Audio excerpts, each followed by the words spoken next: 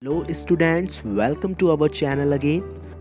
सो so, मैं बताने वाला हूँ कि क्या क्या आपको डॉक्यूमेंट्स रिक्वायर्ड होंगे एडमिशन के टाइम पर। तो जैसे कि आप जानते हैं कि आपका आज अलॉटमेंट लेटर रिलीज़ हो चुका है तो जिन बच्चों का नेम आ चुका है वेदर इट इज़ गवर्नमेंट और प्राइवेट लेकिन उन्हें क्या क्या कल और परसों यानी कि seven eight only two days का आपके पास टाइम है कॉलेज में रिपोर्टिंग का। तो आपको क्या क्या डॉक्यूमेंट लेकर जाना है आप उसके बारे में जान लीजिए। तो फ़र्स्ट जो डॉक्यूमेंट रिक्वायर्ड है, वो है national certificate xerox copy of valid passport attested मतलब कि कोई भी आपको वैलिड आपकी आईडी होनी चाहिए। जस्ट एग्ज़ाम्पल और आधार कार्ड, वो सभी के पास होता है। नेक्स्ट है डोमिसाइल सर्टिफिकेट ऑफ़ यूपी मतलब कि आपके पास यूपी का क्या होना चाहिए? अगर आप यूपी से हैं तो आपका डोमिसाइल सर्टिफिकेट यानी कि निवास प्रमाण पत्र होना चाहिए। नेक्स्ट है आपका एडमिट कार्ड इशूड बाय आपके पास एडमिट कार्ड होना चाहिए, होगा ही। नेक्स्ट है proof of date of birth यानी कि डेट ऑफ़ बर्थ का प्रूफ चाहिए ओनली तो आपकी टेंथ की मार्कशीट जो होगी, वो एलिजिबल होगी, जिसका सर्टिफिकेट है मार्कशीट अलग अलग होगी तो वो अपना सर्टिफिकेट लिए जाएगा। नेक्स्ट है tenth board marksheet twelfth marksheet twelfth certificate तो आजकल जो स्पेशली जो होते हैं मतलब उसमें सर्टिफिकेट और मार्कशीट वो सेम ही होते हैं। एक ही होता है तो आपकी मतलब टेंथ की मार्कशीट और ट्वेल्थ की मार्कशीट वो तो इंपॉर्टेंट ही है।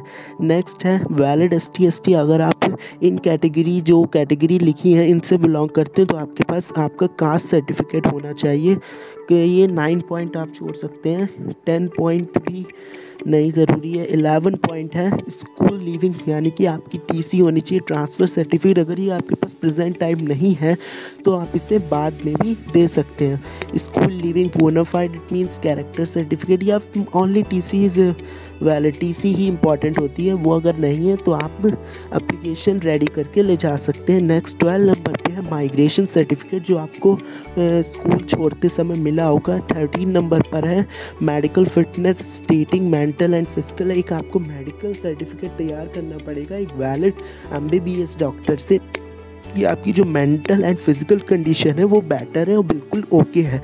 नेक्स्ट है फोर्टीन नंबर पे notarize non judiciary bond on a stamp paper of rupees ten mandatory to submitted final admission तो इसका ये मतलब है, आपको स्टैम्प पेपर पे एक शपथ पत्र लिखवाना शपथ पत्र पर मतलब ये होता है कि आप कॉलेज के all the rules and regulation follow करेंगे और कोई भी कॉलेज में दिक्कत नहीं आने देंगे।